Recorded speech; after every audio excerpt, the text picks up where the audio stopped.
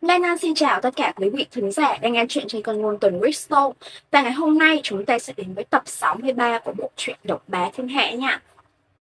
Lấy ra một chiếc lệnh bài huyền thuyết đưa cho cô gái.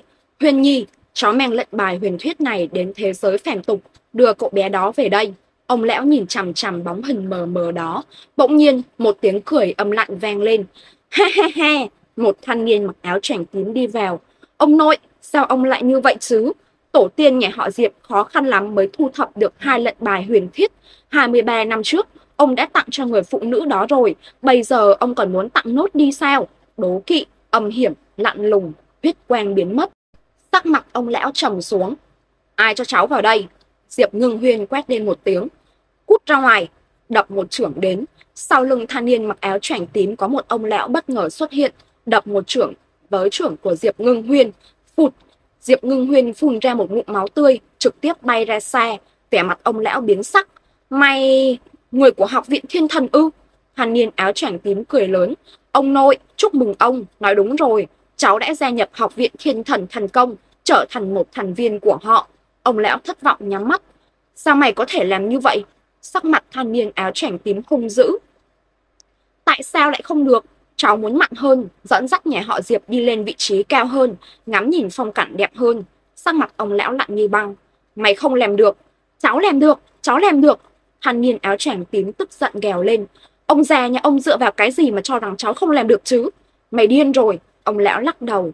Đột nhiên, một tay tóm Diệp Ngưng Huyên, ném ra khỏi mật thất. Diệp Ngưng Huyên quay đầu, lại muốn xông vào. Ông nội! Mau đi đi! ầm Cửa đá đóng lại, bên trong vang lên tiếng đánh nhau gây cấn. Lão già, mẹ kiếp ông đúng là đáng chết, tại sao ông không công bằng? Tất cả đều là con cháu nhà họ Diệp, tại sao người ta có thể có được nhiều như vậy? Ông đáng chết, ông đáng chết. Diệp Bắc Minh không biết chuyện ở Côn Luân Hư, vẫn đang tu luyện Long Đế Quyết. Đến ba tiếng trôi qua, mấy người vạn lăng phong, lục khi xương, ăn nhã đợi ở đây. ầm um, bỗng nhiên, mười mấy máy bay chiến đấu bay đến từ không trung Vatican.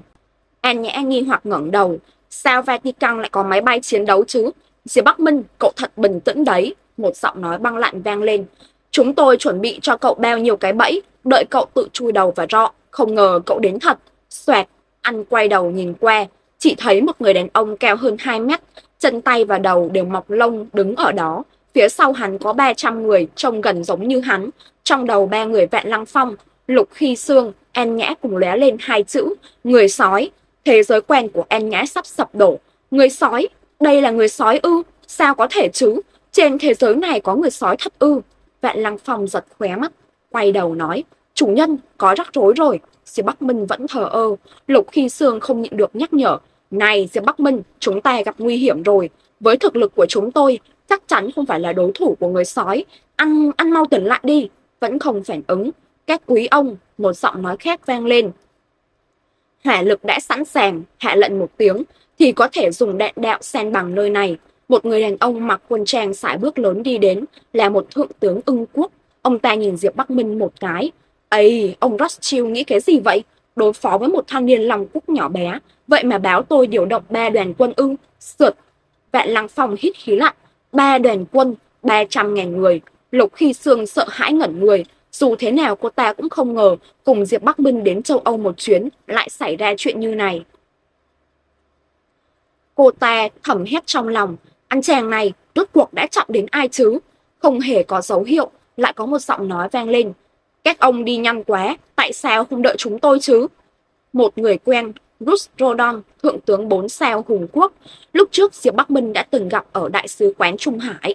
Theo sau ông ta là một người đàn ông Hùng Quốc, cao 2 mét, toàn thân nổi cơ bắp, đứng thứ 190 bảng xếp hạng ngầm. Đó là cao thủ hàng đầu, bảng xếp hạng ngầm là bảng xếp hạng cấp toàn cầu. Tác Âu rất trẻ, trẻ đến quá đáng, trông khoảng 25 tuổi, mái tóc dài màu vàng, khuôn mặt như dao gọt, nhìn Diệp Bắc Minh cười lạn lùng. Đây chính là Diệp Bắc Minh đã giết 7 cao thủ hàng đầu bảng xếp hạng ngầm ư. Một người rất bình thường, không nhìn ra có điểm nào khác biệt. Các ông lùi lại hết đi, một mình tôi chém hắn. Tác Âu rất tự phụ, Lang thần lặng như băng nói, Tác Âu, nếu che đỡ đầu lôi thần của cậu đến, có lẽ có thể dễ dàng giết hắn. Tác Âu cười lớn he he, giết hắn mà cần che đỡ đầu của tôi đích thân đến ư. Khụ, khụ, khụ. Một ông lão mặc áo choàng đỏ, tay cầm quyền trượng màu vàng kim thông thả đi đến. Giết người sao? Tính cả tôi đi, ba ngàn quân tình nhuệ của Hắc Long hội tôi bị hắn giết hết rồi. Tao đưa mày đi gặp thượng đế, mày ngoan ngoãn hối lỗi đi. Mọi người kinh ngạc nhìn qua sắc mặt nghiêm trọng. Đứng thứ 189 bảng xếp hạng ngầm, Hồng Y đại giáo chủ Sakamo ư. Tác Âu và Lang Thần đều tỏ vẻ nghiêm trọng. Lúc này Diệp Bắc Minh mở mắt. Các người thực sự cùng chạy đến để nộp mạng phải không? Xoẹt, nghe thấy lời này, tất cả mọi người đều nhìn qua Diệp Bắc Minh. Trong mắt của Bruce Jordan lóe lên lửa giận. Diệp Bắc Minh, cậu cho rằng nơi này là Long Quốc sao? Khóe miệng lang thần cong lên nụ cười tàn nhẫn. Diệp Bắc Minh, mày cũng cứng miệng quá đấy. Chốc nữa xé đắt cái miệng của mày, không biết mày còn cứng miệng như thế được không? 300 người sói phía sau lèn thần đồng thanh rú lên. Hú! Khí tức khét máu ập đến, An Nhã gần như sợ đến ngất đi. Sắc mặt của Lục khi xương tái nhợt, không ngừng lùi lại, cô ta đã muốn bỏ chạy, nhưng bốn phương tám hướng đều là đại quân, kẻ trang viên đã bị bao vây chặt không lọt sọt nước. Cho dù là trên không trung cũng có máy bay chiến đấu tuần tra, nơi này đã là thiên lè địa võng, mọc cắn cũng khó thoát.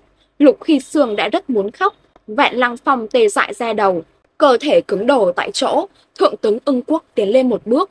Tôi hạ lệnh trực tiếp nổ pháo, không cần lãng phí thời gian.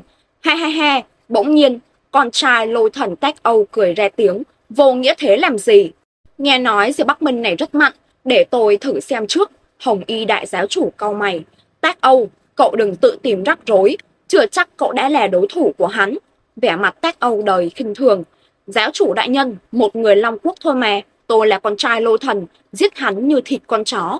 ầm, Tác Âu tức giận thét lên một tiếng, giờ trần ra đẹp, mặt đất rung chuyển dữ dội, bùng phát ra một luồng khí thế cực kỳ cường mạnh, xung quanh nổi gió, cát đá tung bay, bùng phát ra như hỏa tiễn. Lang thần kinh hãi, tốc độ nhanh thật. Không hổ là con trai của lôi thần, có lẽ có một nửa thực lực của lôi thần, Hồng Y đại giáo chủ lắc đầu. Tác Âu còn lâu mới có được một nửa thực lực của lôi thần. Mười năm trước, tôi và lôi thần từng giao đấu, ông ta rất mạnh, ít nhất có chiến lực thuộc top 100 bảng xếp hạng ngầm. Cái gì? Suýt!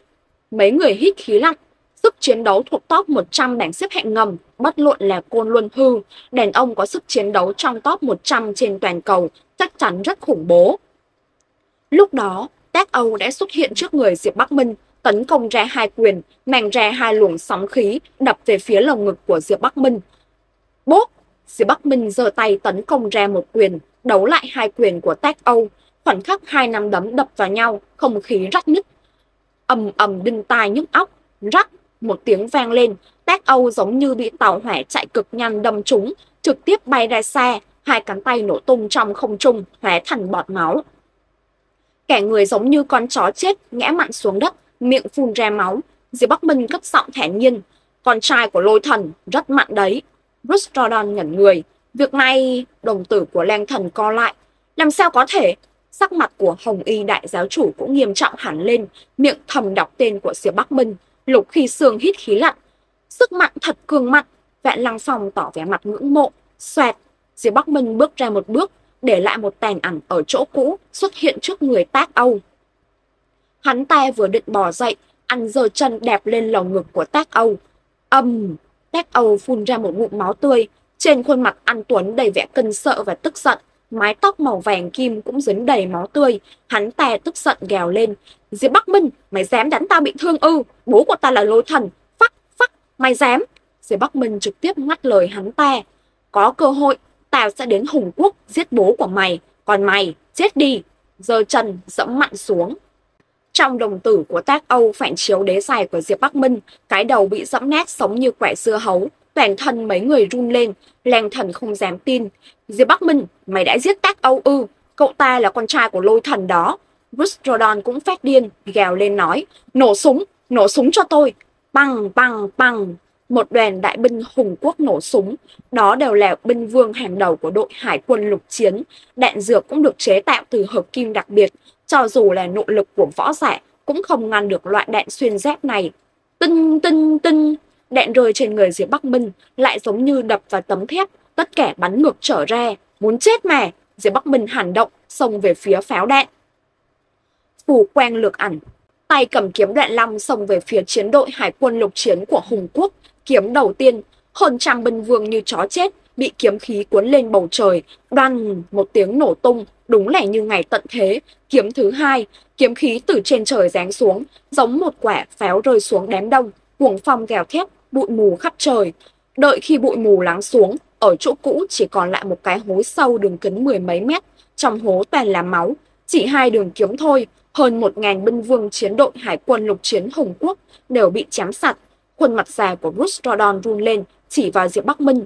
Cậu, cậu, kiếm thứ ba, xoẹt. Đầu của Bruce Jordan bay cao. Diệp Bắc Minh không nhìn ông ta thêm một cái, xông về phía làng thần ở một bên.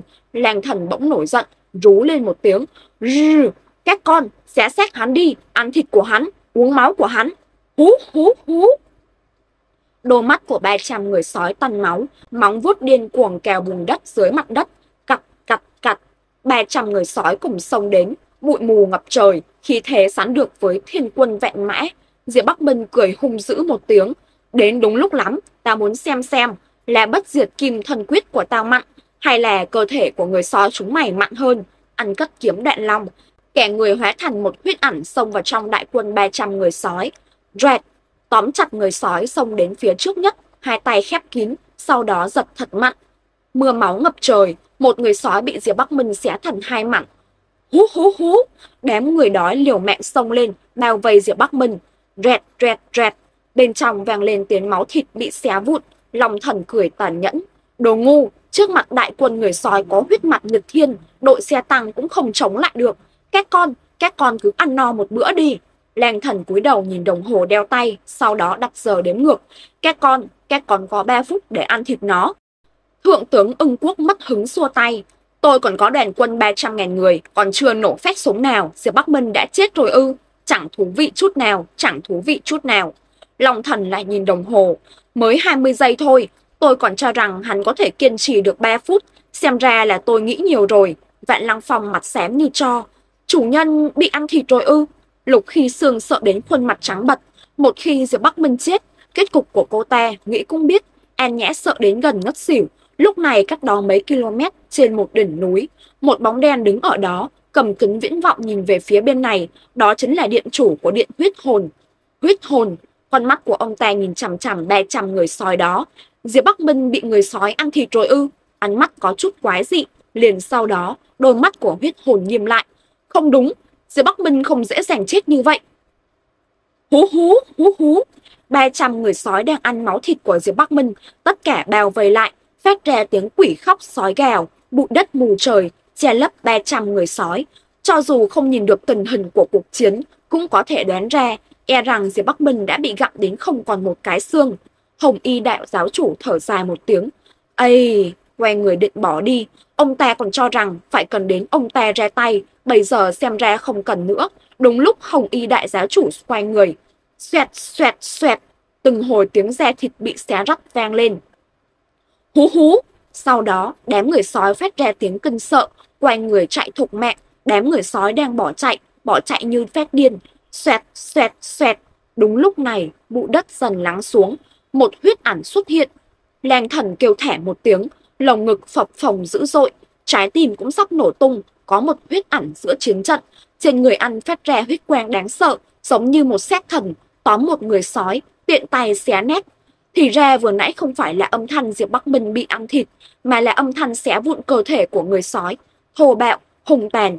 Thượng tướng ưng quốc trừng mở to đôi mắt, nhìn chằm chằm Diệp Bắc Minh, dường như ngừng hít thở. Ông ta sợ đến lùi lại liên tiếp. Không thể nào, không thể nào, làm sao có thể. Suýt! Ông ta hít khí lặng, da đầu cũng sắp nổ tan. Hồng y đại giáo chủ nghe thấy tiếng kêu, cũng lập tức dừng lại quay đầu, cơ thể già nua ngẩn ngơ, rồi Bắc Minh như xét thần, tiện tay tóm một người sói, rắc một tiếng, vặn gãy cái đầu, sau đó tấn công một quyền, chọc xuyên lồng ngực của một người sói, ăn lại giơ tay, dùng nội lực khủng bố hút một người sói lại, tóm lấy hai vai của đối phương, phụt, xé thành hai mảng, đúng là máy xay thịt. Đồng tử của Hồng Y đại giáo chủ co lại thật mạnh, ngay cả ông ta cũng kinh hãi. Lúc này tiếng kêu thảm của đám người sói vô cùng nhức tai, lang thần cũng thộn người, thẫn thờ tại chỗ, toàn thân run lên. Chỉ có đại quân, người sói, bọn họ tàn sát người khác, đâu có người khác tàn sát bọn họ. Lục khi xương chừng mở to đôi mắt, cơ thể không ngừng run lên, Cuối cùng cô ta đã biết Diệp Bắc Minh đáng sợ đến mức nào. Chủ nhân, suýt. Vạn năng Phong hít một hơi khí lạnh, vẻ mặt vừa chấn hãi vừa vui mừng. Phía xe, cho dù huyết hồn cách mấy ngàn mét, vẫn kèm thấy một luồng khí lạnh thấu xương. Diệp Bắc Minh, rốt cuộc mày là quái vật gì? Lúc này, toàn thân Diệp Bắc Minh được bao bọc trong máu tươi. 300 người sói đang giảm số lượng với tốc độ có thể thấy bằng mắt thường. 200, 180, 180, 30, 10, 0, Chỉ trong 5 phút ngắn ngủi, 300 người sói đều bị Diệp Bắc Minh xé xác. Thi thể của người sói ngổn ngang khắp mặt đất, máu chảy thành sông. Ực ực, lang thần nuốt nước miếng, nhìn đồng hồ theo bản năng. Đồng tử co mặn lại, 300 giây, mới chỉ qua 300 giây, 300 giây, 300 người sói bị giết sạch. Một giây giết một người ư, điên khủng, điên khủng hoàn toàn. Dưới bầu trời này đâu có kẻ như vậy. Bỗng nhiên, lang thần có cảm giác nguy hiểm. Diệp Bắc Minh cuộn lên huyết khí toàn thân, xông về phía ông ta. Muốn chết hả? Lang thần gầm lên một tiếng. Diệp Bắc Minh đã xông lên, thường long kình tấn công ra một quyền. Âm, máu tươi bắn tung tóe. Một cánh tay của lang thần bị tấn công nổ tung. Ông ta vừa phát ra một tiếng kêu thảm thiết, rồi đột ngột im bặt. năm đấm của Diệp Bắc Minh giáng xuống vị trí tim của ông ta. Phục, cú đấm xuyên thủng, một cái lỗ đáng sợ xuất hiện. Cơ thể của lang thần bay đi, bỏ mạng tại chỗ. Đó là lang thần của lang quốc đó, thế mà lại chết như vậy ư. Xoẹt, Diệp Bắc Minh nhìn qua, thượng tướng ưng quốc sợ đến lùi lại liên tiếp, gầm thét nói, nổ súng, nổ súng cho tôi, tấn công nơi này thành đống đổ nét. Một đám cận vệ hộ tống thượng tướng ưng quốc mau chóng lùi lại. Hồng y đại giáo chủ nhìn chằm chằm Diệp Bắc Minh, mặt nặng như nước, đôi mắt vô cùng băng lạnh. Diệp Bắc Minh, mày đúng là khiến người ta bất ngờ. Thực lực này, độ tuổi này, tao có thể cho mày một cơ hội gia nhập thánh đường, trở thành một thành viên của tòa thánh. Xoẹt! Diệp Bắc Minh cũng chẳng có ý trả lời, bóng hình sông giết đến như quả bom. Trong chớp mắt, đã xuất hiện người Hồng Y đại giáo chủ, đập một quyền đến, muốn chết hả? Hồng Y đại giáo chủ quát lên một tiếng, giờ Quyển trượng hèn kim trong tay, đập mạnh về phía Diệp Bắc Minh, bốp, một tiếng vang lên, nắm đấm của Diệp Bắc Minh hóa thành bàn tay, tóm chặt quyền trượng hoàng kim. Hồng Y đại giáo chủ ngẩn người, khóe miệng lộ ra nụ cười âm hiểm. Nhóc con, mày lại dám đọ sức ngái xét gần tao, chẳng lẽ mày không biết, thời trẻ, bản giáo chủ được gọi là đại lực sĩ cường mạnh nhất Jerusalem sao? giơ tay tấn công ra một quyền. Mang theo luồng gió mạnh cuồn cuộn, dường như không khí cũng sắp bị xé rách. Diệp Bắc Minh đưa tay ngăn cản. Hồng Y đại giáo chủ cười hung dữ. Ha ha ha, ngu xuẩn. bè chữ đến cùng cực còn chưa kịp nói ra. Một cánh tay khiến ông ta chấn kinh xuất hiện. Diệp Bắc Minh lại tóm chặt nắm đấm của ông ta. Hơn nữa, phía sau Diệp Bắc Minh hiện lên một con rồng màu máu, lúc ẩn lúc hiện, dữ tợn, cuồng bạo. Hồng Y đại giáo chủ hỏi theo bản năng. Đây là cái gì? Một luồng sức mạnh đáng sợ nổi lên. Sau đó, Diệp Bắc Minh lật tay tóm chặt cổ tay của Hồng Y đại giáo chủ, bẻ thật mạnh, rắc, một tiếng giòn tan vang lên, cắn tay của Hồng Y đại giáo chủ gãy luôn. Diệp Bắc Minh cất giọng băng lặng, đại lực sĩ ư, ông có thể bùng phát ra sức mạnh 3 triệu cân trong chớp mắt không? 3 triệu cân sao? Vãi, đồng tử của Hồng Y đại giáo chủ co lại, Diệp Bắc Minh đã đưa hai tay ra tóm chặt hai cánh tay của ông ta. Long đế quyết và thương Long Kình sử dụng cùng một lúc. Hồng y đại giáo chủ kinh hoàng. Mày muốn làm gì? Diệp Bắc Minh trả lời. Cho ông nếm thử mùi vị bị xé rách. Xoẹt. Diệp Bắc Minh lại dồn lực vào hai cánh tay. Cơ thể của Hồng y đại giáo chủ bị xé toạc tại chỗ. Kinh hãi sốc nặng. Nhìn thấy cảnh này, lồng tóc toàn thân lục khi sườn dựng đứng lên. Ngài, ngài đã xé vụn một hồng y đại giáo chủ ư? Vạn Lăng Phong sớm đã khâm phục sát đất. Chủ nhân, Nguyệt thiên, cách đó mấy km, toàn thân điện chủ huyết hồn run lên, khoe mắt co giật liên tục. Mẹ kiếp, hắn là quái vật gì? Không được, nơi này không thể ở lâu. Âm, bỗng nhiên, trên không trung vang lên tiếng vù, mấy chục quả đạn đạo cùng bay đến trong một lúc, phá vỡ không trung mấy trăm mét. Đồng tử của vạn lăng phòng cũng sắp trố ra. Thiếu chủ, đó là đạn đạo xuyên lục địa. NB2 AA13 của ưng quốc một quả có thể tấn công phá hủy cả một tòa nhà cao chọc trời. Lục khi xương sợ đến trượt ngã xuống đất, sau lưng ướt đẫm mồ hôi. Chúng ta sắp chết rồi sao? Diệp Bắc Minh ngẩng đầu, trong đôi mắt phản chiếu mấy chục quả đạn đạo từ không trung bay đến. Xoẹt, một bóng dáng xinh đẹp xuất hiện, Tốc độ di chuyển của người nọ nhằm tựa yêu ma, người nọ tóm lấy cánh tay Diệp Bắc Minh, nói, đi thôi. Diệp Bắc Minh vui vẻ, ạ lục sư tỷ sao chị lại ở đây? Lục sư tỷ vội đáp, thừa thải, chị vẫn luôn ở đây âm thầm bảo vệ em mà, đi mau. Diệp Bắc Minh chỉ vào Lục Khi Sương và An Nhã nói, Lục sư tỷ, chị dẫn theo hai người bọn họ đi, còn em dẫn theo Vạn Lăng Phong. Em cân được sao? Lục sư tỷ nhíu mày. Diệp Bắc Minh gật đầu nói, cân được hết. Được, Lục sư tỷ từ từ bước ra, tóm lấy Lục Khi Sương và An Nhã. Diệp Bắc Minh tới trước mặt Vạn Lăng Phong, tóm lấy cánh tay ông ta nói, Lăng Phong, đi thôi. Hai người nhanh chóng leo đi, theo sau ba người kia. Chân vừa mới bước khoảng 500 bước, thì bỗng nhiên một tiếng động vang lên, âm, sau lưng bọn họ, ánh lửa dâng lên ngút trời, một làn sóng quét que như cơn sóng thần. Diệp Bắc Minh quay đầu lại chém ra một kiếm, bổ làn sóng ấy ra làm đôi. Từng đám mây hình nấm khủng khiếp nối đuôi nhau hiện lên, làn sóng nhiệt len ra khắp trời, cả một trang viên yên lặng chìm trong biển lửa. Còn người Diệp Bắc Minh phản chiếu ánh lửa ngập trời ấy, ánh mắt lạnh lùng đến cùng cực. Ưng quốc à, 300.000 quân lính sao? Xem ra các người muốn giết tôi thật. Giây tiếp theo, Diệp Bắc Minh cầm kiếm đoạn long, lao về phía quân lính đang ở cách đó không xa. Lục sư tỷ, em giao ba người họ cho chị đó. Cảnh ấy khiến lục sư tể sửng sốt. Tiểu sư đệ. Vạn Lăng Phong ngơ ngác. Chủ nhân, chủ nhân leo thẳng tới chỗ 300.000 quân lính kia ư. Một mình chủ nhân đối đầu với hơn 300.000 quân lính của ưng quốc sao? Cùng lúc đó, đại bản doanh ba đội quân của ưng quốc, thượng tướng của ưng quốc, thượng tướng Winston đang ngồi trong phòng chỉ huy, tiếng nổ đùng đàng chuyển tới từ màn hình. Trang viên yên bình chìm trong lửa đạn, nó đã bị hủy hoại chỉ trong chốc lát. Một thiếu tướng da trắng bước tới báo cáo. Tướng quân, lửa đạn đã bao phủ cả trang viên rồi, vụ nổ đã diễn ra hơn 10 giờ rồi, cho dù là con kiến thì giờ chắc cũng đã hóa thành cho. Winston thở phào nhẹ nhõm, trên gương mặt xè nua kia rốt cuộc đã nở một nụ cười. Tốt quá, cuối cùng Diệp Bắc Minh chết rồi. Tên khốn đó vậy mà giết hơn 1.000 đội thủy quân lục chiến của Hùng Quốc, còn xé nát hơn 300 người sói. Quả đúng là một cỗ máy giết chóc. Nghĩ mà ông ta sợ hãi, nhưng mà may thay Diệp Bắc Minh đã đi đời nhà ma rồi, nên giờ không còn uy hiếp nữa. Một quả tên lửa xuyên lục địa NB2AA-13 có thể đánh sập một tòa nhà cao chọc trời, liên tục nổ hơn 10 giờ, thì đến ngọn núi lớn cũng bị sen bằng nữa là tức tức tức. Lúc này điện thoại bèn đổ chuông, Winston nghe điện thoại. Kính chào hoàng đế bệ hạ tôn kính.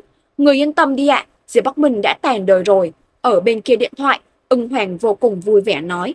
Tướng quân Winston, ông có chắc không? Diệp Bắc Minh đã chết rồi sao? Ông có thấy thi thể của Diệp Bắc Minh không? Winston đáp, thưa hoàng đế bệ hạ, tôi không thấy thi thể của Diệp Bắc Minh, nhưng trong phạm vi 10 km quanh Diệp Bắc Minh đều đã bị lửa đạn bao phủ rồi. Đừng bảo là một tên Diệp Bắc Minh, cho dù là một con kiến thì cũng không có cơ hội sống sót.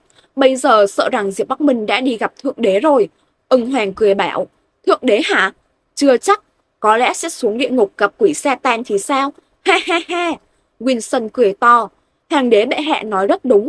Diệp Bắc Minh không có tư cách lên thiên đàng. Cậu ta hẳn phải xuống địa ngục mới phải. Ưng Hoàng nghiêm nghị nói. Làm tốt lắm thân vương Winston. Tôi sẽ ở hoàng cung đế quốc chờ ông. Thân vương ư? Winston khiếp sợ. Ưng Hoàng gật đầu đáp. Đúng thế, giết Diệp Bắc Minh là ông đã lập công rồi. Từ giờ trở đi, ông chính là thân vương Winston của đế quốc đại ưng tôi. Từ nay che truyền con nối. Winston quá đỗi vui mừng, cắt một chiếc điện thoại quỳ xuống. Cảm ơn hoàng đế bệ hạ. Cuộc gọi kết thúc. Winston mở rượu sâm ban ăn mừng. Chúc mừng thân vương, một đám tương lĩnh tiến lên chúc mừng. Tức tức tức. Bỗng nhiên, chuông báo động trong phòng chỉ huy kêu ân ỏi khiến cả phòng hỗn loạn. Winston quét. Sao đấy? Một thiếu tướng vọt vào phòng chỉ huy, khiếp hai nói. Tướng quân, Diệp Bắc Minh, Diệp Bắc Minh không chết, đang hướng thẳng về phía đại bản doanh ạ. Nói cái gì? Winston cứng đờ người, ly thủy tinh trên tay rơi xuống đất vỡ tan tành. Ông ta không dám tin hỏi. Diệp Bắc Minh chưa chết ư? Cậu nói là Diệp Bắc Minh chưa chết sao? Cậu ta không xuống địa ngục gặp quỷ xe ta nè, Sao lại như thế? Người thiếu tướng kia lấy ra một cái máy tính. Tướng quân, đây là tình hình chiến đấu nơi tiền tuyến. Winston cúi đầu nhìn, vừa nhìn thì suýt nữa bận tìm ông ta tái phát. Trên đó là hình ảnh Diệp Bắc Minh một người một kiếm, trông như sát thần đang nhảy vào giữa đám quân lính. Anh vừa chém ra một kiếm, thì một lũ quân tinh nhuệ của ưng quốc đã đi đời. Pháo súng nhắm ngay Diệp Bắc Minh mà điên cuồng xả đạn, xung quanh đạn nổ tung trời. Nhưng anh từ trong vụ nổ bước ra, cả người bao phủ một luồng huyết khí khủng khiếp. Súng đạn bình thường vậy mà chẳng thể nào mà may làm anh bị thương. Quân tình nhuệ của ưng quốc thấy thế thì sợ mất mật, lao nhào tháo chạy. Thấy cảnh đó, winston suýt nữa đập nét máy tính. Đây vẫn là con người à, đó rốt cuộc là quái vật gì thế? Chó, ai nói cho tôi biết đi, đó là con quái vật gì thế? winston điên rồi, mau chuyển cho tôi hình ảnh trên chiến trường. Vâng ạ, hình ảnh trên chiến trường truyền tới. Tay Diệp Bắc Minh cầm kiếm đoạn long lao vào giữa ba đội quân của ưng quốc như bước và trốn không người. Một số lượng lớn xe tăng và xe thiết giáp lao tới, rầm. Diệp Bắc Minh chém ra một kiếm, một đám mây hình nấm hiện lên, xe tăng và xe thiết giáp đều bị nổ tung. Bắn đi, mau bắn đi, bắn hết đạn cho tôi mau. Không được để Diệp Bắc Minh tới gần bộ chỉ huy, các tướng lĩnh của ưng quốc điên cuồng hét lên, súng đạn ầm ầm xẻ tới, nhưng đối với Diệp Bắc Minh mà nói thì chẳng khác nào gãi ngứa. Chẳng những ăn có bất diệt kim thần quyết mà còn có cả long đế quyết, máu tươi từ người chết hóa thành một làn xương máu ngưng tụ về phía Diệp Bắc Minh, làn xương máu ấy hóa thành đầu rỗng, đẫm máu ngay sau lưng ăn, dáng vẻ của nó trông rất bệ vệ, âm âm. Bỗng nhiên, trên không trung xuất hiện mấy chục chiếc máy bay chiến đấu hắc ưng xuất hiện, lao xuống chỗ Diệp Bắc Minh với tốc độ cực kỳ nhanh. Khi chúng cắt ăn khoảng 300 mét, hàng loạt tên lửa hóa thành ngọn lửa bắn ra, vút vút vút, xoẹt. Diệp Bắc Minh cầm kiếm đoạn long chém ra một nhát, rầm. Hơn 10 chiếc máy bay chiến đấu hắc ưng bị chém nét. Bay lên, bay cao lên, chúng ta cùng kích từ trên cao, không cần thấp quá. Các phi công khác trống lên, những máy bay chiến đấu hắc ưng còn lại đều bay lên keo rồi tiếp tục xả đạn. Diệp Bắc Minh mỉm cười, có ít lắm mà, vút, ăn bước ra, bay thẳng lên trời. Phủ quang lực ảnh kết hợp với thuật đàng không, Diệp Bắc Minh vọt tới chỗ máy bay chiến đấu hắc ưng nhanh như chớp, chém nét chúng. Thương long chạm, thương long chạm. Thương long cần kết hợp với cân lôi chạm, đó là một tổ hợp võ kỹ, âm, lấy kiếm đoạn long trong tay Diệp Bắc Minh làm trung tâm, sấm chớp đùng đùng nổ ra, hàng chục tia sét cỡ bằng cổ tay đánh xuống ầm ầm. Mỗi một tia sét lại đánh trúng một chiếc máy bay chiến đấu hắc ưng. Vào giờ phút ấy, Diệp Bắc Minh như một vị thần thống trị sấm sét vậy, rầm rầm rầm. Giây tiếp theo, máy bay chiến đấu của hắc ưng nổ tung, trên không trung thêm vài đám mây hình nấm nở rộ, chiếu sáng cả một vùng trời. Đây, trong phòng chỉ huy yên lặng đến đáng sợ. Tập 63 của bộ truyện Độc Bé Thiên Hạ xin được kết thúc tại đây. Lan An xin hẹn gặp lại tất cả các quý vị thính giả vào tập tiếp theo. Mọi người hãy like và subscribe cho kênh Ngôn Tình Crystal để nhận được những thông báo mới nhất nha.